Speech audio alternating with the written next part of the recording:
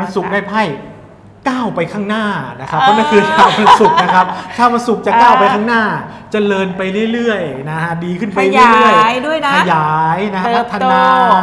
เก่งขึ้นนะครับอืมตรงนี้นะฮะเพราะนั่นคือชาววันศุกร์นะถ้าเป็นนักการเมืองที่เกิดวันศุกร์บอกเลยว่า คุณจะก้าวไปเรื่อยคุณจะเก่งไปเรื่อยคุณจะมีคะแนนท่วมท้น คุณจะมีโชคดีอ่านะครับความนิยมก็มาแรงมากใช่จากที่ผ่านมาอาจจะดูไม่ดี หรืออาจจะดู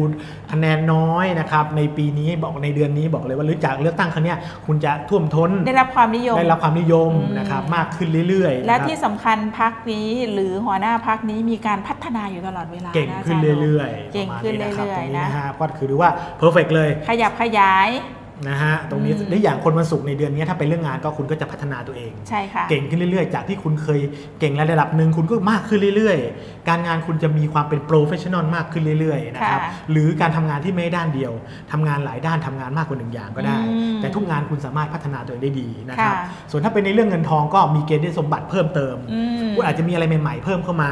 คุณอาจจะมีดวงที่จะมีโชคดีในเรื่องเงินที่เพิ่มพูนมากขึ้นใช่ค่ะนะครับหรือไม่ก็มีรายได้เพิ่มมากขึ้นก็ได้ค่ะส่วนถ้าเป็นในเรื่องความรักนะครับ คุณก็จะมีในเรื่องงานเรื่องเงินเข้าไปช่วยเหลือกันค่ะมีเกณฑ์เกื้อกูลพึ่งพาซึ่งกันและกันอ่าหรือบางคนเป็นหนุ่มสาวเป็นชีวิตครอบครัวก็จะมีความสุข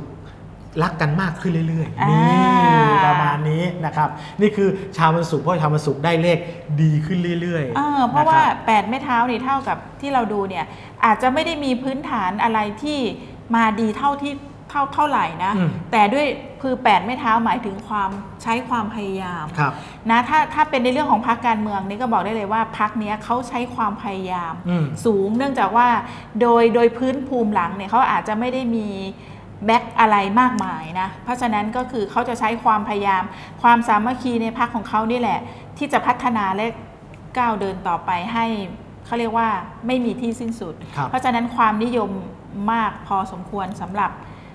ผู้นำพรรคนี้ครับนะคะ แล้วก็มีโอกาสที่จะเอ่อเขาเรียกว่าขยายความสนใจไปได้เยอะเลยทีเดียวนะ ถูกต้อง โอเค ไปดูกันเอาเองนะคะรัว่าบผมพรรคไหน อย่างนี่คือไรชาววันศุกร์นะครับ ประมาณนี้นะฮะโอเคค่ะอ่า